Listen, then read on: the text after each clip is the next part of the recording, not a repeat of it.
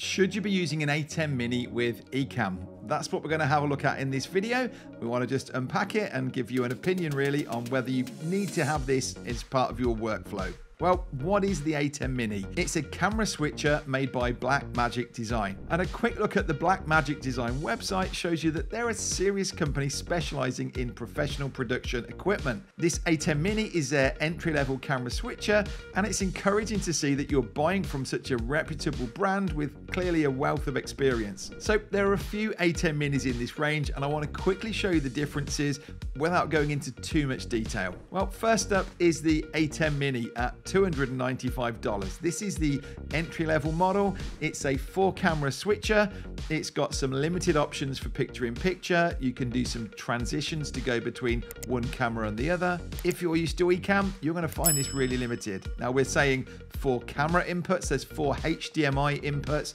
One of them could be a games console if you wanted to mix in your gameplay with some footage of you sitting there. This device is going to be able to handle that. You've got two microphone inputs as well as having the mic available through the HDMI inputs as well, assuming that your camera is able to send audio across HDMI. And if you're not using Ecamm or you're on a PC, you can actually use the ATEM Mini with the software that comes with it and stream straight out to Facebook or YouTube or wherever else from this device. So that's the ATEM Mini. Next up is the ATEM Mini Pro at $495. And what are you getting extra for this $200? The main difference is that you're getting this multi-view feature, which lets you monitor all the camera feeds at once on an external screen. And this is particularly useful if you're covering an event or you want to be able to look at those up to four cameras and just be able to jump quickly between them. Oh, camera one's got a better feed. No, over to camera two. More so than if you were in a, a fixed set position where you know you want camera one, two, or three. Now, this is a great feature. And to be honest,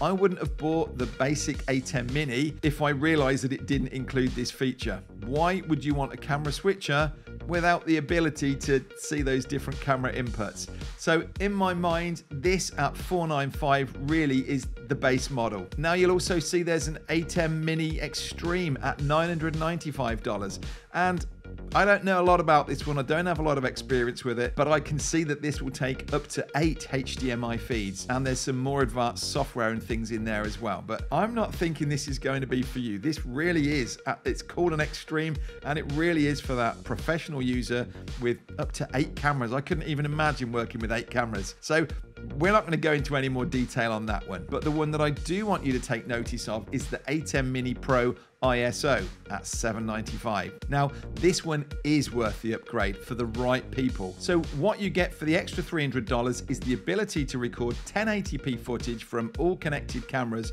not just the live feed. So if you're recording a fitness video or cookery tutorial and you've got three, four cameras connected over HDMI, you no longer need to run around hitting recording on all those individual cameras and then pull the SD cards in afterwards. If they're connected, you just hit record on your ATEM Mini Pro ISO and it will record from all of them simultaneously. So this is giving you four clean camera feeds to be able to pull into something like Final Cut Pro and edit and mix between those cameras afterwards in post. And better still, if you're using DaVinci Resolve for your editing, this will actually give you a project file to work on. So for the right person who needs to be able to record from multiple cameras and wants to be able to edit in post, this is a fantastic tool. Well, that took me longer than I'd hoped to get through the range, but I feel you needed to know where different ones sit. And uh, I'd hate to think that you thought you'd found a bargain because it was cheaper than someone else mentioned, and actually you realize you've got something that's inferior to what you need. So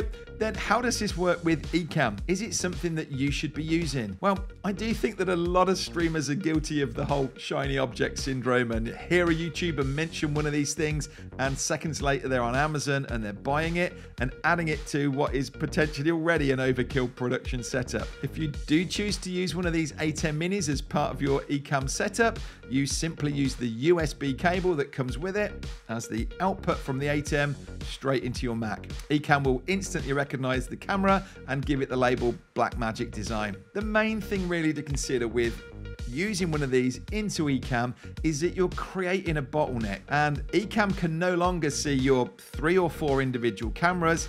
It just sees the ATEM feed. So if you're wanting to do some multicam picture in picture footage showing a top down shot and you in the corner or something like that, the, the kind of things we've come to know and love inside of Ecamm, you're not going to be able to do that with this setup. There are some options, as I mentioned earlier, with picture in picture, and it will just put a box in one of the corners. That's about as much as you can do. And it also means you can't go having one scene set up for camera one and another one set up for camera two and three, maybe you got to do this on the go, which means you're likely going to have one hand on a Stream Deck or on your mouse, and the other one sitting hovering over this controller so you can switch between those cameras as you go. To me, I'm always trying to simplify this. I want it to be as prepared and planned.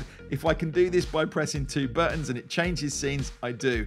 So the thought of having another device over here now that I need to remember on this scene, I've got to press that button to change the camera it's just not going to happen for me. Oh, and did I say that the ATEM Mini doesn't support 4K, so you're stuck with 1080p for now? And let's be honest, that's fine for most things that people are doing. But if you're expecting to be able to maybe shoot down with the camera above and crop in on that footage, you're not really going to be able to crop in on that 1080 without damaging the footage. Now, while we've got this here, we've got to show you an example, haven't we, of the different footage coming through. Is it better coming through the ATEM or coming through the regular cam link? Well, here are the two side by side.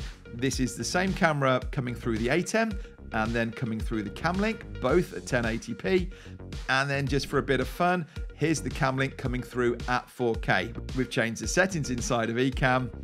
Big difference, isn't it? Well, as you can tell, I'm not really a fan of using the ATEM Mini with Ecamm. Ecamm is an incredibly powerful tool and you're just tying up its hands and wasting its features if you're using an ATEM Mini. Plus, it might be a slight difference, but I do reckon that camera feed coming through from the cam link is a little sharper than it is coming through from the ATEM. The only times really when I would choose to use one of these is when I need a, a large monitor to be able to see those different camera feeds coming through, or if I want to record those feeds all at the same time. And I certainly know of customers who this is what they do for creating courses. They need to have three cameras that they can edit through and see which is the best shot at the different point of the video. This is absolutely the best tool for them. But as I'm recording this, are busy working on version 4, which will include video ISO.